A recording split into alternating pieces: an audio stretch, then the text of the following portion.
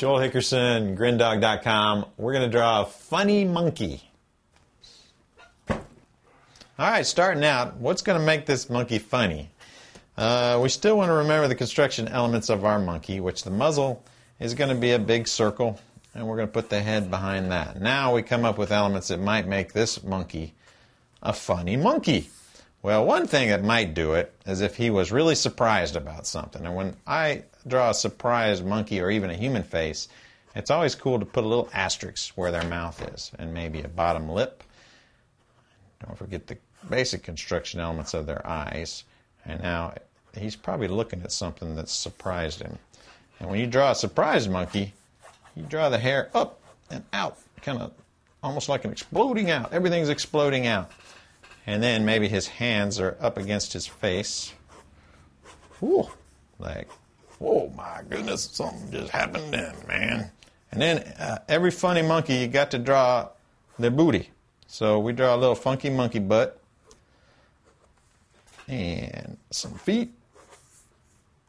And again, these are construction elements. So what we're going to do when we get done with the construction elements, we're going to come back with our marker and make them make sense. All right, so we'll start with the eye. And the, the wackier the better. These eyes don't have to be symmetrical. This is a cartoon, so really exaggerate things. Again, the mouth doesn't even have to follow the same asterisk lines that you just had. You get a little shadow under that bottom lip and draw the muzzle. And now you can kind of see it starting to shape up.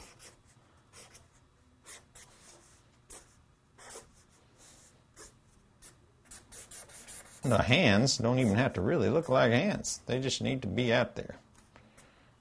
Uh, kind of framing his face. And the monkey butt speaks for itself. Little tail coming out. One foot, two feet, belly, bottom of the muzzle, back of the head.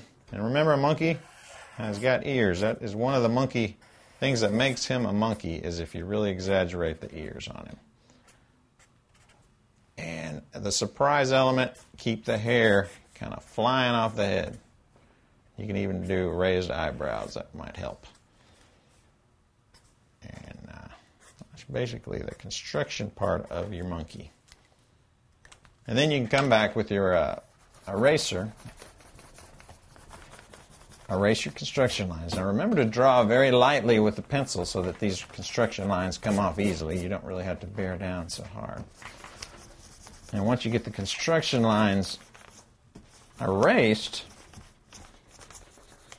you can come back and make shadows where you need shadows, like at the base of the ears. You want to give this thing a little bit of gravity. So at the bottom of all these elements, kind of give it a, a little thicker line. So they're in anything you want to really stand out. Come back and draw a little heavier. That should surprise you. always want to kind of do the outside of the eyes. And you might want a couple of sweat lines coming off of him. and that's a funny monkey.